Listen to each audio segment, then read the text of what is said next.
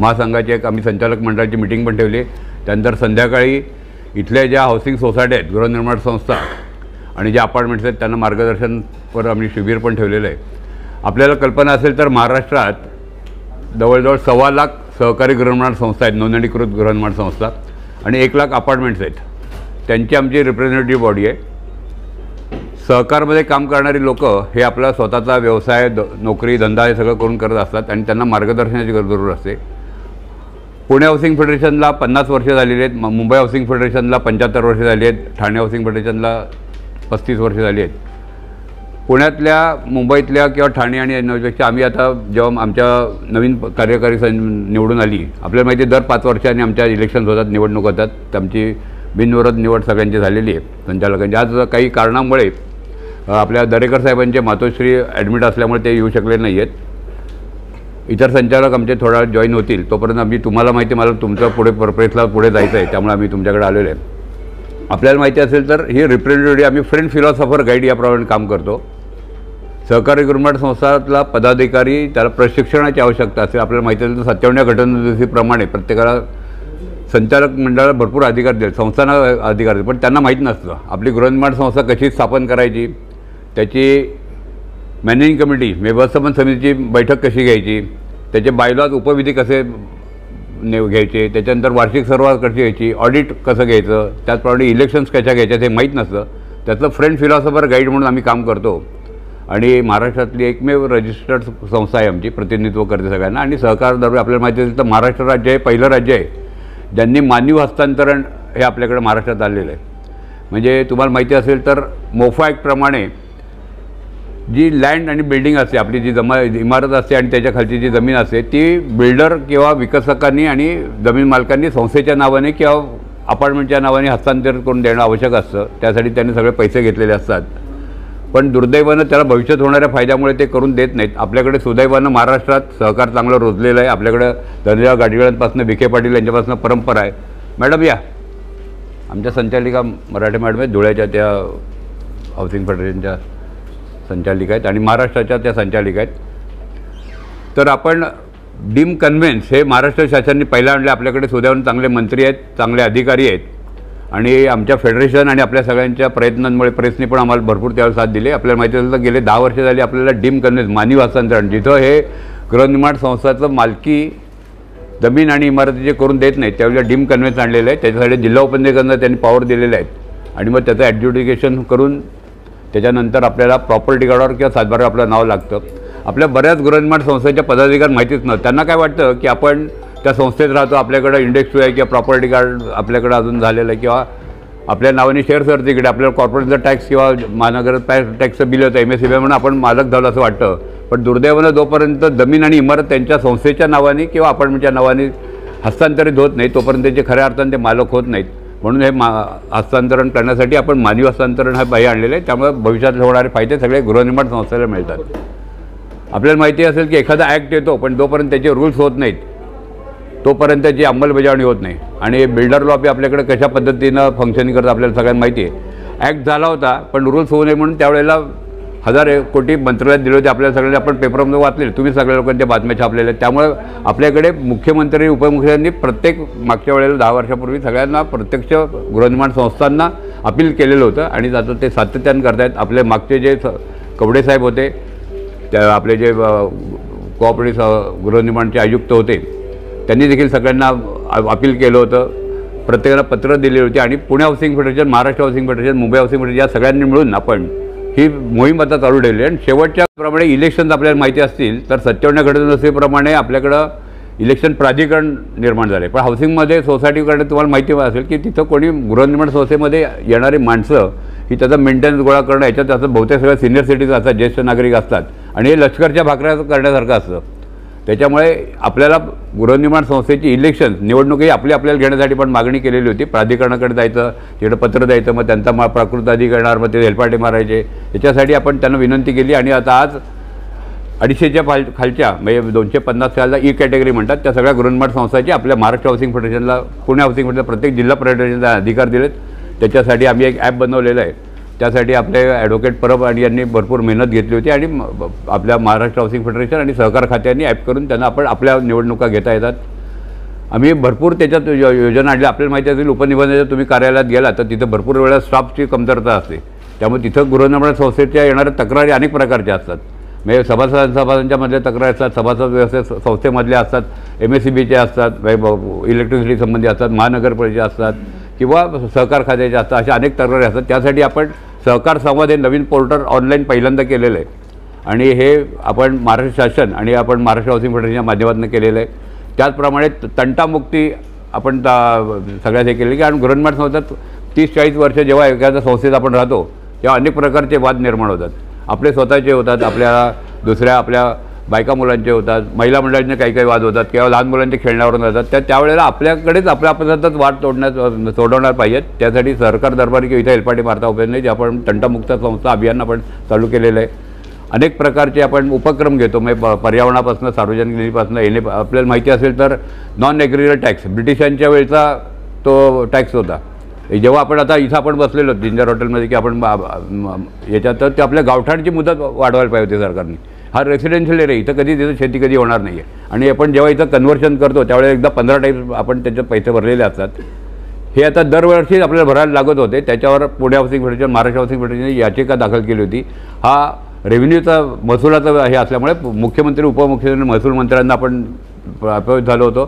सुदैवानं गेल्या तिन्ही गव्हर्नमेंटनी त्याला स्टे दिलेला आहे. पण दुर्दैवानं अजून त्याचा कायद्यात अंमलबजावणी झाली नाही. त्याच्यासाठी वीस वर्ष सगळे आर्य सत्ता त्याच्याकडे आपल्याकडे सगळ्यांकडे मागतायत. तुम्ही कुठल्या ना कुठल्या तरी संस्था किंवा अपार्टमेंटमध्ये राहत असाल तुम्हाला माहिती असेल. तर त्याच्याकडे पेनल्टी आणि इंटरेस्ट लावलेलं आहे. वीस वर्षाची त्याच्यासाठी पुणे हाऊसिंग फेडरेशन आणि आमच्या सगळ्या फेडरेशननी हायकोर्टात उच्च याचिका दिली त्याला स्टे दिले आहे. तिन्ही गव्हर्नमेंटनी आता गेल्या दो अडीच तीन वर्षात आपल्याला माहिती आहे की दोन तीन गव्हर्नमेंट झाली तर तिन्ही गव्हर्नमेंटने आपल्याला स्टे दिलेला आहे. याचिका आपली जी हायकोर्टात याचिका प्रलंबित आहे. आणि आम्हाला खात्री की आता नवीन गव्हर्नमेंट येईल कारण हे दोन हजार चोवीस हे सगळं इलेक्शनचं वर्ष आहे. आणि या इलेक्शनच्या वर्षात आत्ताच लोकसभेचे इलेक्शन झालेले आहेत त्यानंतर विधानसभेचे आहेत नंतर महानगरपालिका होतील. तर याच्या याच्यात ते त्यांनी आम्हाला खात्री दिली की आम्ही तुमचं ज्या मागण्या त्या नक्की हे करू. आपण तसं जे हे आपलं डीम कन्व्हेन्शन हे तीन डिपार्टमेंटकडे जातं. म्हणजे डिस्ट्रिक्ट जिल्हा उपनिबंधकांकडे आपल्याकडे हिअरिंग होतं त्याच्यानंतर प्रॉपर्टी कार्ड म्हणजे त्याच्याकडं महसूलकडनं स्टॅम्प ड्युटीसाठी जातं आणि त्यानंतर प्रॉपर्टी कार्ड किंवा सातबारासाठी जातं. या तिन्ही डिपार्टमेंटकडे भरपूर वेळ लागतो पैसे लागतात. तर हे सगळं ऑनलाईन व्हायला पाहिजे आपण मागणी केलेली आहे. आणि आम्हाला खात्री की तुमच्या सगळ्यांच्या सहकार्यामुळे आपण या गोष्टी सगळ्यांना करू शकू. आज गृहनिर्माण संस्थेचे बऱ्याच संस्था तर पुणे मुंबई ठाणे आणि याच्यासाठी बऱ्याच संस्था गृहनिर्माण संस्था रिडेव्हलपमेंट म्हणजे पुनर्विकसनासाठी आलेल्या त्यासाठी महाराष्ट्र राज्य सहकारी निर्माण संस्थांनी आपण मागे लागून महाराष्ट्र शासनाने दोन हजार एकोणीससाठी स्वयं पुनर्विकास योजना आणलेली आहे. त्याच्यात महाराष्ट्र राज्य सहकारी बँकेला नोडल इन्व्हेस्टमेंट केलेलं आहे. दहा टक्के इंटरेस्ट सबसिडी दिलेली आहे. ॲडिशनल एफ एस आय दिलेला आहे. पण दुर्दैवानं या दोन तीन वर्षातल्या सगळ्या राजकारणामुळे शासनाचं लक्षच नाही आहे आणि त्यांनी याला कुठलंही काम अजून त्या दृष्टीने केलेलं नाही. सिंगल विंडो सिस्टीम व्हायला पाहिजे दहा टक्के ॲडिशनल एफ एस आय मिळायला पाहिजे चार टक्के इंटरेस्ट सबसिडी कारण आपल्याला माहिती तर गेल्या या तीस चाळीस वर्षात सगळ्या ज्या गृहनिर्माण संस्था आहेत त्या पुनर्विकासासाठी आलेल्या आहेत. आता औरंगाबादमध्ये इकडे जास्ती नाही आहेत पण मोठ्या शहरात म्हणजे पुणे मुंबई ठाणे औरंगाबाद किंवा नागपूर वगैरे असल्या ठिकाणी या सगळ्या गृहनिर्माण संस्था पुनर्विकासासाठी आल्या त्याच्यासाठी आम्ही या चारही डिपार्टमेंटची एकत्र मिटिंग मागितलेली आहे.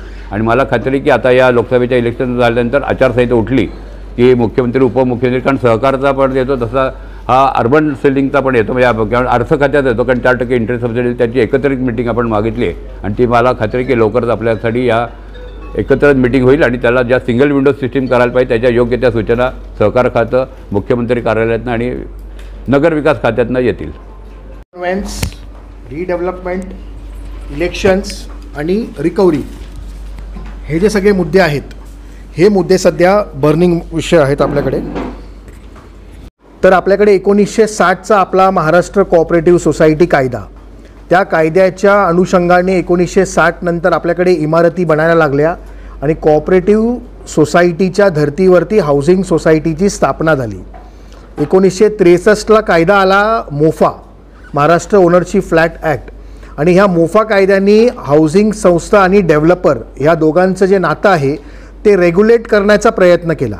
म्हणजे डेव्हलपर प्रमोटरपूर्वी जे काही गोष्टी माल प्रॅक्टिसेस करायचे ते कंट्रोल करण्यासाठी मोफा कायदा एकोणीसशे त्रेसष्टचा आला. पण तो कायदा आला असून दोन हजार आठ उजाडलं की जोपर्यंत तो लँड ट्रान्सफरच करत नव्हते. डेव्हलपर काय करायचे? बिल्डिंग बांधायची इमारत बांधायचे आणि जी जमीन आहे ती स्वतःच्या नावावरच ठेवायची. आज तुम्ही औरंगाबाद शहरामध्ये जरी तुम्ही इकडचे सगळे सातबारे प्रॉपर्टी कार्ड काढलेत तरी तुम्हाला ऐंशी टक्के जे सातबारे प्रॉपर्टी कार्डवरती कुठल्याही संस्थेचं नाव अजूनही दिसणार नाही. ही मुंबईमध्ये पण तीच परिस्थिती आहे ठाण्यामध्ये आहे पुण्यामध्ये पण तीच होती. पण ही दोन हजार आठपर्यंत होती. आणि मग दोन हजार आठमध्ये शासनाने निर्णय घेतला की आता आपण युनिलॅटरल कन्व्हेन्स करून देऊया. जर डेव्हलपर लँड हस्तांतरण करत नसेल तर मग आपणच ते हस्तांतरण करून देऊ. आणि मग सरकारने सांगितलं की संस्थेने पुढाकार घ्यावा आमच्याकडे यावं. आणि आम्ही ते लँड जी आहे ती जर डेव्हलपर देत नसेल तर आम्ही लँड ती तुमच्या नावावर ट्रान्सफर करून देऊ.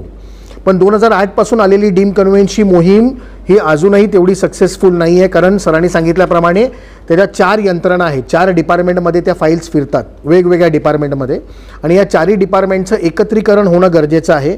त्यालाच आपण सिंगल विंडो सिस्टम बोलतो. बरं हा डीम कन्व्हेन्सचा विषय आज दोन हजार आठ नंतर आपल्याकडे काय इम्पॉर्टन्स आहे? कारण एकोणीसशे साठ सत्तर ऐंशीमध्ये बांधलेल्या बिल्डिंग्स ज्या होत्या त्याला तीस वर्ष होऊन गेलेली आहेत. आणि तीस वर्ष बिल्डिंग झाल्यानंतर त्याच्यामध्ये मेजर स्ट्रक्चरल रिपेअर्स वगैरे आपल्याकडे पाहायला मिळतात. बिल्डिंगची कंडिशन खराब असते. त्यामुळे लोक आपल्याला डिमांड करतात की रिडेव्हलपमेंट करावं. आणि रिडेव्हलपमेंट करण्यासाठी पहिली अट कॉर्पोरेशनची ही आहे की तुमचं जागा लँड जी आहे ती तुमच्या मालकीची पाहिजे. जर ती तुमच्या मालकीची नसेल तर तुम्हाला कॉर्पोरेशनमध्ये प्रस्ताव दाखल करता येत नाही. मग आपल्याला जावं कोणाकडे लागतं? की तोच ओरिजिनल डेव्हलपर ज्याच्या नावावरती जमीन आहे. मग त्याला जाऊन विनंती करावी लागते की रिडेव्हलपमेंट कर. आणि मग तो सांगतो की मला एफ एस आयमध्ये राईट्स हवेत. तुम्हाला मी थोडासाच प्रपोशनेट देणार. म्हणून डीम कन्व्हेन्सची मोहीम आणि रिडेव्हलपमेंट हे एकत्रीकरण सांग सांगणं आहे. डीम कन्व्हेन्स केल्यानंतर ताबडतोब तुम्ही रिडेव्हलपमेंटला जाऊ शकता. जर तुमची बिल्डिंग तीस वर्षाच्या पेक्षा जुनी बिल्डिंग असेल तर. आणि रिडेव्हलपमेंटमध्येच सरांनी सांगितल्याप्रमाणे स्वयंपुनर्विकास जे आहे हे दोन हजार एकोणीसपासून पुढे चाल करते आहे महाराष्ट्रामध्ये.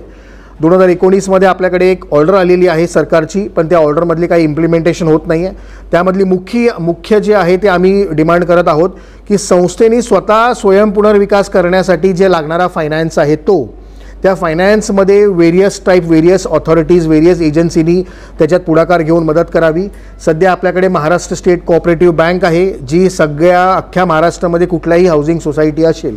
तर त्याला फंडिंग प्रोव्हाइड करतं. जर त्यांना स्वतः स्वयंपुनर्विकास करायचा असेल तर. आणि प्रत्येक जिल्ह्याची जिल्हा मध्यवर्ती बँक ज्या आहेत त्या देखील फंडिंग्स करतायत. पण ह्याच्यावर हवा यासाठी स्वयंपुनर्विकासासाठी महाराष्ट्र स्टेट फेडरेशनच्या मार्फत आम्ही पाठपुरवठा नेहमी करत आहोत. आणि सिंगल विंडो सिस्टम आणण्याचा प्रयत्न जो आहे तो आम्ही एक रिक्वेस्ट केलेली आहे. मग सिंगल विंडो सिस्टम म्हणजे काय? की आपण प्लॅन्स घेऊन गेल्यावरती दहा शंभर डिपार्टमेंट आपल्याकडे असतात. की तुम्हाला तिकडनं एन ओ सी आणावी लागते प्रक्रिया प्रीमियम्स भरावे लागतात वेरियस डिपार्टमेंटमधनं तुम्हाला अप्रुव्हल्स आणावे लागतात.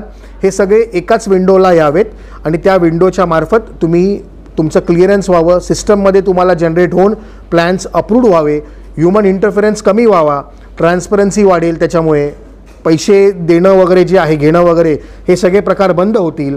आणि ह्या सगळ्या माध्यमातून स्वयंपुनर्विकासाच्या माध्यमातून लोकांचं याच्यामध्ये उन्नती होईल. ह्या माध्यमातून आपण महाराष्ट्र स्टेट फेडरेशन या सगळ्या गोष्टींकडे पाहत आहोत. पुढे तुमचे काही प्रश्न असतात